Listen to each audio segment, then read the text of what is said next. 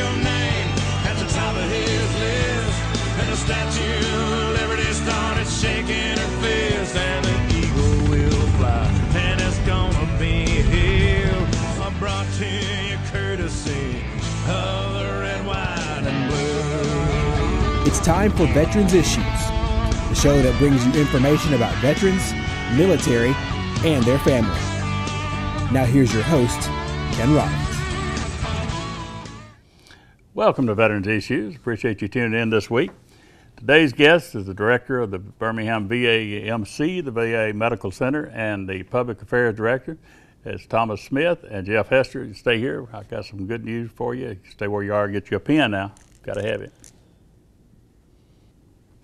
Welcome back to Veterans Issues. Ken Rollins. We today we've got the director of the Birmingham VA Hospital and the Public Affairs Director, and uh, they've been on here before, but we've been on quite a while. We need to find out what's been going on there. Welcome to the show, Jeff Hester.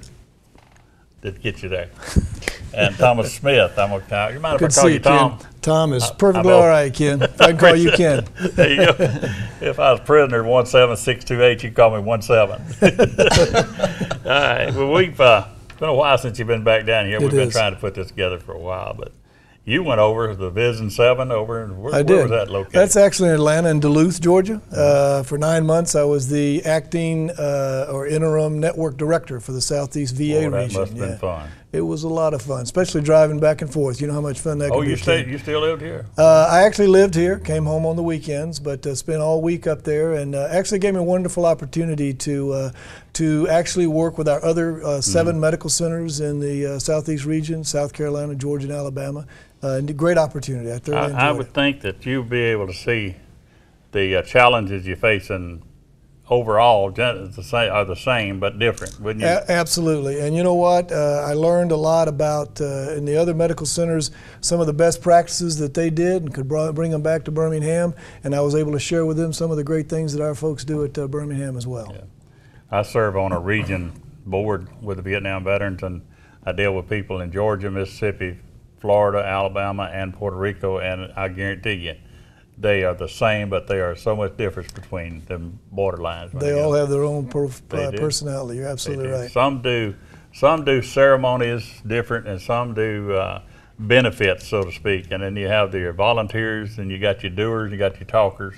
Within every one of those, I find that there's like five people that make everything work out of the hundreds that show up. You know what Absolutely. I mean? So- Well, we've got some great staff out there, uh, particularly, of course, at the Birmingham VA Medical Mm-hmm. Center. But our other facilities have some great staff. That's one of the best things about it was getting to know the staff, those frontline workers, and how dedicated and committed they are to taking care of our veterans. Jeff would probably remember this that when uh, Rika Lewis Payton, your before you, Mm-hmm. was on the show, uh, while it was during the break, she got a phone call that Birmingham VA had just been selected. What is a VISN Seven out of the whole states, all the states? It's been like number one in all of Mm-hmm. them. It was. Correct. Yeah. Yeah. We, yeah. We were listed as one of the best medical centers in the country at the time. Mm-hmm. We were in the top ten, and we were noted for our performance and the great things we do for our veterans. So Rika was very proud of that. Oh yeah. How Yeah. long you been over there, Jeff? Uh, been over there 25 years. So, Uh-huh. and I just wanted to say thank you for your service today, Ken. I don't get to do that often, but we uh, had a big celebration at the VA Medical Center last uh, week uh, for our 50th anniversary for Vietnam veterans, and just to see many of the veterans come out that were Vietnam veterans that never got recognized. You know, several of them shed tears. We had great media coverage. Uh, the Chapter 416 out of Birmingham Yeah. did it, but we had Vietnam veterans from around the state. It was great to see those guys come back, get pinned with a pin for their recognition of being welcome Yeah. back home. And it really touched a lot and I think healed a lot of open wounds for our Vietnam veterans. So, you know, does. again, appreciate your service and what you do for our veterans in the state of Alabama. Thank you for saying that, and and it's a mutual thing because I, I go back. I, I've been using that VA over there since the '60s, late '60s, and I've seen the tra- the tra- changes, and all the changes have been for the good. I can say mm-hmm. that that it, it wasn't always what it is today. Thank goodness that we got people who had thinking out of the box and done some things over the years, and I know several of the directors been over, but I, I just some of the people that work over there now, and I hear things behind your back, and they all they all good. They something you're doing something right over there in Birmingham. Well, I'll tell you what, Ken, that, that uh, staff over there, they make it easy. They do, because that is a great staff. Uh, when I first, actually, when I was interviewing for this job, I found out a little bit about the staff here, and I found out how committed and engaged they are with taking care of veterans, how they do truly love taking care of the veterans uh, in, in the Birmingham area and all over North Alabama. And so they make it easy. They, they do a wonderful job, very professional, uh, very technical, very skilled, very talented, but also very caring. You know, uh, Jeff, you appreciate this, but uh, one of the names that sticks with me that that uh, for I don't know 20 plus years is Geneva. Mm-hmm. That woman. She is, she is a woman of dedication. you Geneva can't make Robinson's a patient advocate, and she has been taking care of veterans there at that medical center for 45 years. And you know, she says she does not want to leave because she loves the veterans, Yeah. and she has babied veterans. And some of these veterans are 70 years old, and she's still babying some of the ones that are I 80 and That's what I 90. say. I just mean, so you know, she's like a mother of uh, you know Yeah. the of patient advocates. You're, anyway, she's a great her. lady. You're around her more than I am, and I just wondered if this is what drives this person. What drives somebody that she just she gets looks like she gets more out of helping than she puts into it. I mean, I just Yeah. that's just the impression I have of her. Well, she's a true Christian lady, and she loves veterans, and she loves what she does for her country. And like I said, she has really raised these people, the veterans, over the years, and they come to Geneva for everything. And- and- it don't and matter what it's for, a prescription while we're refill. while we're talking or- about employees, I got to talk about one of yours, Davita. What's her last name? Up in the prosthetic. Uh, the the lady I told you about, Davita. She Davita, I think it is. She is uh, went above and beyond. Well, you know, whether we get her name right or whatever, you know who I'm talking about. Right. But but she just went above and beyond. I saw tears come in her eyes. She was talking about prosthetics, Tom, and she was talking about uh, I give people leg braces and I give people these stumps and I do this. She said, but she's telling me a story about a fellow that got his hand for the first time. He didn't have a hand. They put him a prosthetic hand on there. Mm-hmm, mm-hmm. And so they was going down somewhere. She had to go with him somewhere down on the elevator. And she was going to push the button and he knocked her hand out of the way. He wanted to use that hand. and she, she got teary eyed and had me in tears telling me about this because this was her mm. job but it was more than a job. And Exactly. we, there were several people there that I could name that y'all know some of, but they saw the same thing and said, "What a, mm. what a great thing to have people work for a VA that care as much." as She was crying, telling us that that man just touched that button with his finger for the first time, and what she got out of it, you know, that's her payoff. She I think that's the most rewarding thing for us to, to hear is uh, when a veteran tells us that our VA saved their life Yeah. or at least changed their life for, for just uh, eons better. Uh, it's just it's very touching for us. Well, you've transitioned to take care of the women's clinic and all this thing. We'll talk about the new place in a minute, but but uh, in this first segment, I want to make sure we get this in here. The, y- y'all done a transplant over there for uh, kidney transplant. We have. We uh, were certified last year in 2015 as a renal transplant uh, organization in the VA. We're the seventh within the country, so there aren't that many. Uh, and so we're now kind of a, a regional kidney transplant center for the VA. Uh, a lot of work went into that, uh, a lot of uh, affiliation and uh, coordination with UAB, University of Alabama Medical uh, over there, and they were instrumental in helping us stand this up. But uh, we did uh, get certified, uh, and everything was in place by December, and we did our first kidney transplant in January, and it was very successful. Uh, veteran from over in the Augusta area came in, got it done, and he was up on his uh, up in his chair uh, watching Rawhide when I went by to see him uh, uh, uh, about a day or two later, and uh, he's now back home and doing well. Jeff, would you ever thought you'd see something like that? I, and that was on my birthday, January the 5th. I remember it well. And we uh, had a lot of media come up there to cover it because that's the first time we did a kidney transplant in Birmingham since 68. We were the first to do it in the state of Alabama, any transplant uh, at the VA. And we went in there with all the media and all this hoopla, and he was determined just to sit there and watch Rawhide. And his wife and him both cried. You know, they were so thankful Yeah. that they could come again and get this done and really change that man's We life. got to go pay some bills. We'll be right back after this, and we're going to talk more with Jeff and Tom. It's very interesting. Be right back. Welcome back to Veterans Issues. We're talking to the director of the VA in Birmingham and the Public Affairs uh, We're talking to Tom Smith, the director, and uh, Jeff Hester, who's public affairs. And Tom, when we went to commercial, we had we didn't. We, I mentioned something about the women's clinic transition and all that stuff. We got a new clinic, or tell me about this. We do. We actually have two new clinics, two very large new clinics, both of them around 50,000 square feet. The one in Huntsville was built and uh, we occupied it in November, and we've got a bunch of new services in that area.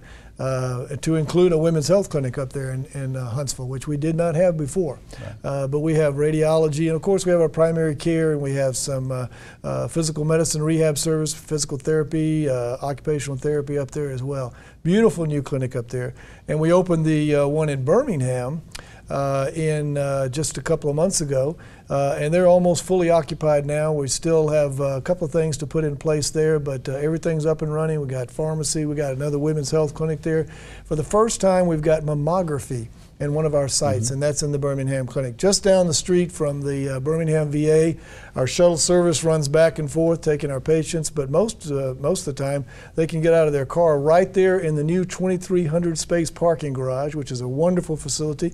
Actually, we get more applause for that than we do for the clinic. yeah, I've heard about it. But yeah, they can get right out of their, uh, their, their car in the garage, walk downstairs to their Mm. appointment most of the time. The people that tell me the oohing and the and about what how how it is, how nice it is. I haven't been over it yet, but I I, uh, I will be looking at that. And that was thinking about, you know, we've the transition from um, the VA hospitals in the 40s and 50s. I, I saw somewhere that when they first opened in the 40s, they were taking care of the World War II veteran who had 5 issues. Then the Korean veterans came along and they had frostbite and a lot of things that they had, and it brought it up to like seven issues. Then the Vietnam veteran comes along and they had 13 issues coming in. So, and they had this thing called woman. You was talking about the mammography. There was nothing in the first VA hospitals built to take care of women. There was no women's clinics, no OB clinics, none of that stuff. There was nothing. And uh, I remember when Birmingham had its first, started bringing its first Yeah. treatment in for, for Yeah. women. And we're going to have to do more of it in the out years because of the the more women that are serving now. So Yeah, well, the, the number of women uh, veterans is, uh, that we're taking care of is expected to double over the next 10 years. And the women veterans bring in their own special needs and requirements, and we want to meet those needs and requirements. So uh, I think we're doing that. We actually have a certified uh, women's health uh, physician, clinician at every one of our clinics to include all of our community based outpatient clinics. Well, you're so out in front of the curve. Let me tell you, I don't want this to be a curve, but the veteran of today, the veteran that we're getting back from the IED explosions, you know, the loss of uh, limbs and that kind of thing, is that a challenge on you guys uh, at the VA because you're dealing with a, you're handling a patient that don't have all their, their, their limbs and that kind of thing. Is that going to, in the out years, is that going to be a, something you're going to? Well, we're actually dealing with it now and have for several years. It, it is, it does bring its own special challenges. It is one of the signature injuries of the uh, global war on terror. Uh, but fortunately, uh, Congress has been very good to us with our budget and the technology that we have nowadays that can that, that can adapt itself to the prosthetic needs of our veterans is just phenomenal. And you've seen some of that. Yeah, uh, yeah. But we're able to, uh, with our prosthetics and our prosthetics resources, we're able to equip them with just about anything they need and continue that follow-up care with them. And of course, another signature injury is the mental health injuries. Yeah. Uh, that that has been a, a severe challenge for us. But again, we've resourced that. We've added over 200 new mental health employees or, or prof- professionals over the last several years, and continue to add them.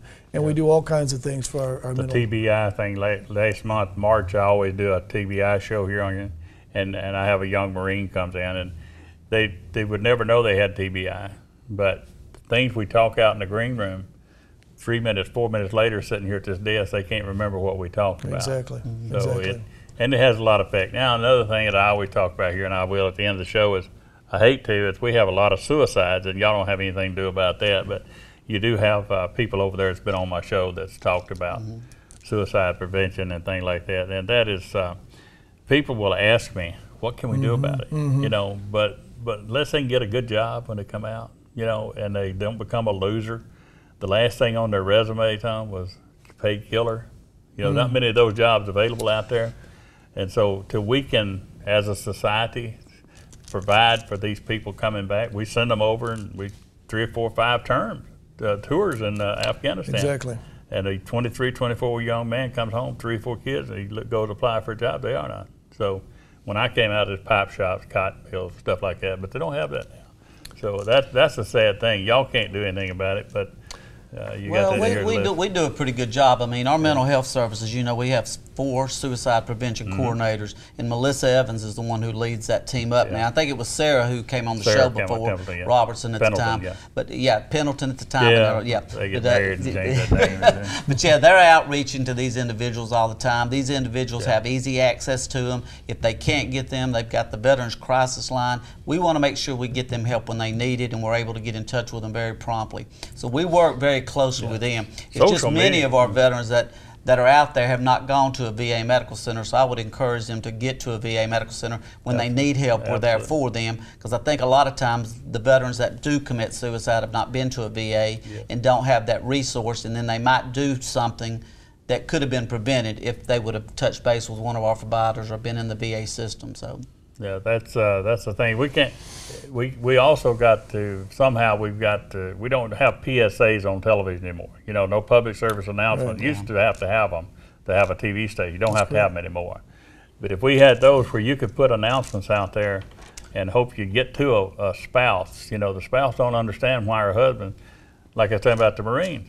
Well, you forgot already. I just told you five minutes ago, and then they they get uh, suspicious. You're forgetting on purpose, and they're really not. You know, it's uh, part of the TBI experience. Exactly. that- And, and I think that uh, one of the, if I could send a message out to those veterans and those family members like that, the one thing I would say is don't neglect things when they happen and don't be ashamed to step forward and say, hey, I need some help. Fortunately, in, in, in modern times, we're, we've gotten over the stigma of, of the mental health issues.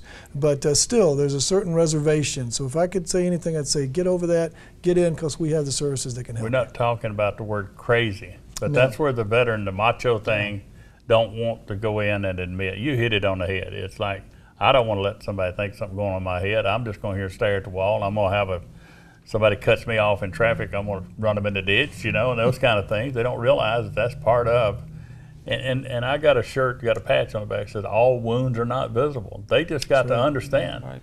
If they had a leg missing, people understand it, but they can't see what's going on in there, and they they move to the back of the church and the thing. They get in trouble at the shopping at the uh, Walmart because they get angry, you know, and they don't understand what's going on. They don't like what's happening to themselves. So yeah, you're right. That is. Exactly. What am I missing here? Are we down to run out of time? Well, I tell you, we uh, we want to make sure that everyone knows. You know, every uh, quarter, every three months or so, we do a veterans town hall in the community, and we like to invite the veterans to come in. We put information out to them, but mostly we listen to their concerns and issues. We're going to do another one. Uh, we usually do them in Birmingham, uh, but we also do them occasionally in Huntsville. And this next one, which we're going to do sometime in June, which we'll put that information out very shortly, is going to be in Huntsville. So we look forward. And actually, it'll be at our new uh, modern clinic up there. That's as well. great because I get that letter, and you guys out there with American Legion, DAV, and all this stuff. I hope you make it. I, I haven't made any of them. I got the invite, but I felt like I, I need to have something to complain about if I go, and I, everything's fine with me.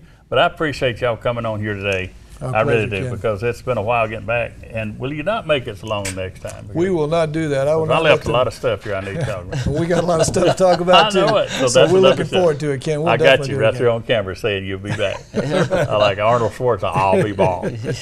we got to go to a break. Come back. I've got news that you can use. Stay where you are. Welcome back to Veterans Issues. Appreciate uh, the director of VA coming in today and Jeff and talking about things. I hope you got something out of that. I know I did, and uh, he's promised to be back. So if you've got questions for the director, like I asked you before, just uh, give me a call. Contact me here with my information's on the screen. Uh, you can contact me, and I will uh, be sure and get that information to them. And if something you got a question about the VA that uh, you in between time between you come back, give me a contact at that same information, and I'll uh, contact Jeff or uh, um, we'll get we'll get the answer for you. Now, it, it, we talked about about the new clinic and everything. It, every week I put this out there to you: 2415 7th, 7th Avenue South, 2415 7th Avenue South. Put that in your GPS because every week somebody called me and they're on the road and they say, "What's that address over there?" And I have to go look it up. But now I think I got it remembered. So, anyhow, now on the 13th of May, we're going to dedicate the uh, Alabama Law Enforcement Memorial up in Centennial Park, Centennial Park on 17th and Quintard, and um, we're going to. That's at 12 o'clock. That's noon. for you Marines, a little hand um, on one, big hand on 12. Uh, no, that would be wrong. I see. I'm in the army. and It'd be opposite of that. But anyhow, at 12 o'clock noon, we're going to unveil the law enforcement memorial up there in the uh, at 533 names, I believe it is, that uh, was killed in the line of duty. Now, the way we built that is the uh, law, the tag. I wish we had it. We could post it so you look at it. Uh, the law enforcement tag that we have uh, for sale out there. When you go get your tag, when you purchase that tag, you uh, uh, proceeds from that tag is what's going to build this law enforcement memorial. And there it is. That's what happens when Kids Kizzie Gooden goes to work. Anyhow, that's our tag, and that tag tells everyone that you care. That is that symbol with that shield and the rose is the national symbol for the fallen, those that have died in the line of duty. So, if you've got that on the back of your car, and that tag goes with every color vehicle, and if you've got that on the back of your um, uh, the bag of your the back of if you got that on the back of your car and someone comes up behind you, they know that you support law enforcement. So I'm not saying that if a law enforcement person comes up behind you, is going to give you a break for if you're violating the law, but it's going to tell them that that person in that vehicle supports the fallen. Now we're back to the 287 bill I talked to you about. Uh, our Senator Del Marsh wrapped the gavel, would not allow debate, and allowed that bill to pass that will take the money from the veterans and give it to the prisoners. So now we have that situation happening. And as you read, watch this show, the House will be deciding what they're going to do. And if it passes the House, and I'm sure it will, the governor will sign it, and uh, $800 million worth of prisons are going to be built on the back of the veterans. So, but they said if they take our money, they'll pay it back. They said if they take the veterans' money, they're going to pay it back. Can I see a show of hands out there in the audience that believe that we'll get that money back? I didn't think so. So the House Bill 313 by Representative Clouse is going through. And uh, if you see, I'm going to post the names on Facebook. So if you're on my Facebook, I'll put the names on the people up there that vote against veterans, and you'll have a chance to talk to them when it comes election time. So if you happen to see any of your senators or your representatives out and about, ask them why they prefer convicts over veterans and let me know what they say, please. And uh, let's see. We still need some volunteers to drive the DAV van uh, to Birmingham. It takes the veterans over there. Give me a call and contact me, and I will put you in touch with a person who handles that program. That's uh, very rewarding for yourself if you'll do that. Uh, get that DD214 to know where it is. You got to have it. DD214. Make sure you got it. Okay, um, this week's salute goes out to all those who provide health care for our veterans. And that's not just at the Birmingham VA, but all those places like our great clinic here in Oxford, and he's talking about in Huntsville, Sylacauga, or whatever, Childersburg, and uh, all the other places they provide it. And thank you to them for the great work they do. We'll see you next week here on Veterans Issues. We're out of here.